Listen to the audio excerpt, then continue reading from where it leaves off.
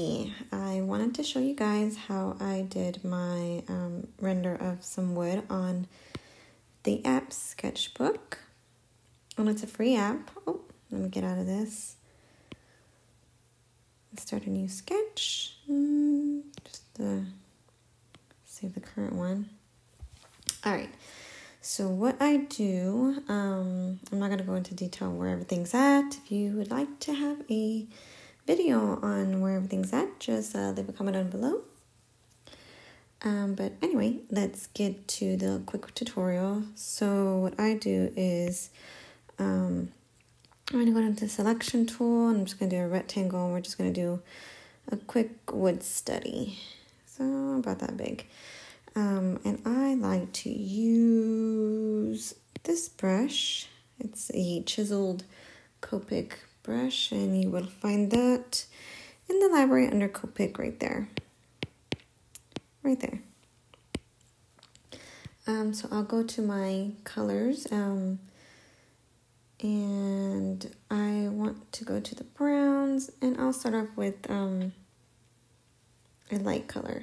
And what I do is I like to layer and I go from light to dark. Um, I believe it's the same kind of concept even what you're doing with um, actual markers. So same concept, and I'm gonna go with E42. And I'm gonna adjust the size and opacity. And I just go in nice good strokes. I'm gonna color it all the way. That's my first layer.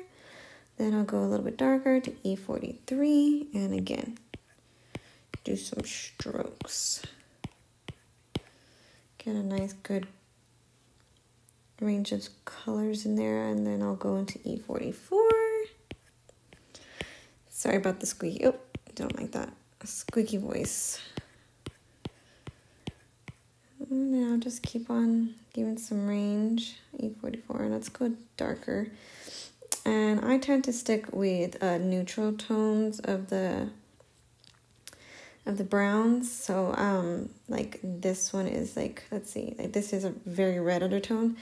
This has a gray undertone and um I kind of like that for wood is the gray almost neutral tones. So let's go like that.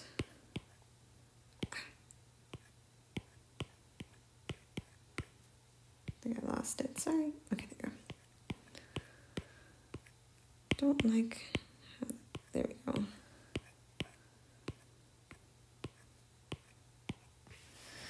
All right, we'll put some good shadows. Now I'm gonna go into a different brush since I got a good little range of colors there. I'm gonna go into the brush, the brush nib of the Copic. And I'm gonna just do some squiggly lines with the same color that I had. It's a good idea for you to grab some wood planks and just take a look at how the green is on the wood to give you a better idea of how to place this green texture.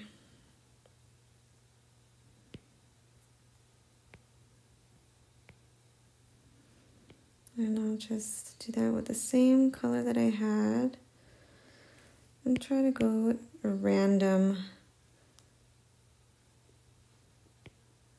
design.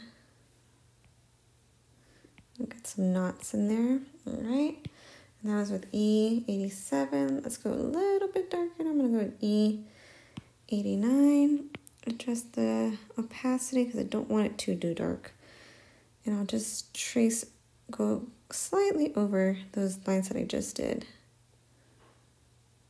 Because wood has rings don't have to be perfect. Wood's not perfect. That's the beauty in it.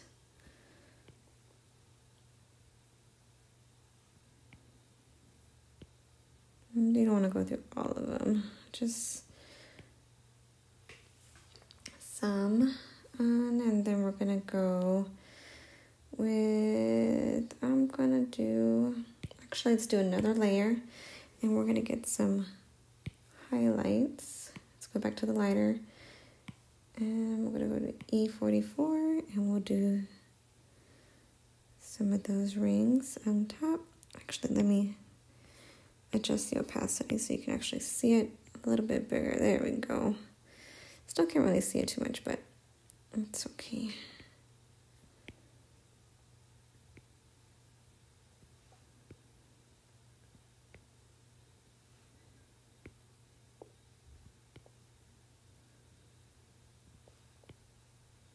Get a lot of good variety of lines in there. Let's go back up here. We're to get another. It's got a yellow tinge to it. Let's go with E49 and we'll lower the opacity so it's not too dark. But we're to make it a little bit bigger. There we go.